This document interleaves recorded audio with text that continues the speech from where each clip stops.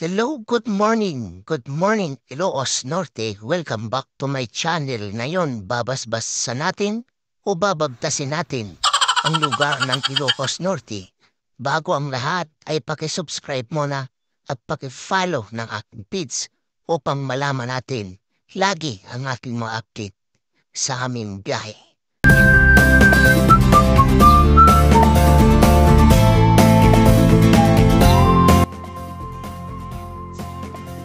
Saan nagmula ang pangalan ng mga probinsya ng Ilocos Norte at Ilocos Sur?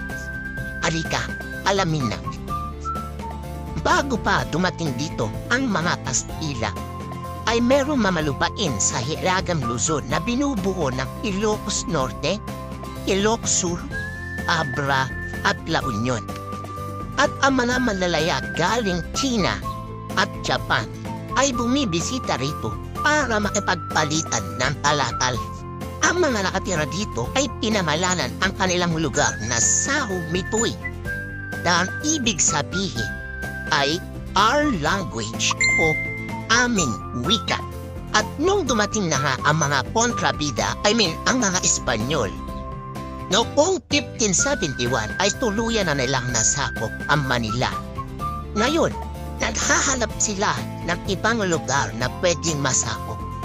At si Juan de Salcedo ay nag-volunteer na gumawa ng ekspedisyon. Nadala siya ng walong barko at 45 na katao at sila ay pumuntang norte.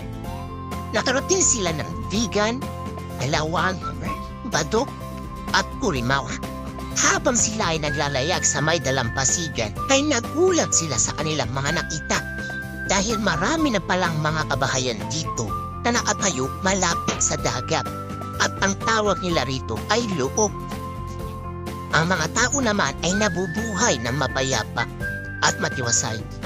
Pinamalanan nila ang lugar na ito na Ilocos na ang ibig sabihin ay lowland. At tinawag nila mga tao rito na Ilocanos at kanila na nga itong sinako. Noong 1762, si Diego Silam ay pinamunuan ang mga labanan upang palayain ang mga Ilocanos sa kamay ng mga Espanyol. Ngunit nung siya ay mapatay, ang kanyang asawa naman na si Gabriela sila ang nagpatuloy nito. Pero kasang sa kasamaang palad, siya ay natakip din at pinatay ng mga Espanyol. At upang maayos na mapamunuan ang malawak na lugar at lumalaking populasyon, ay nagdesisyon na nga ang mga Espanyol na pumirma ng isang royal decree na maghahati sa napaalawak na lugar sa dalawang probinsya at nahati na nga ito sa Ilocos Norte at Ilocos Sur. Norte means north, Sur means south.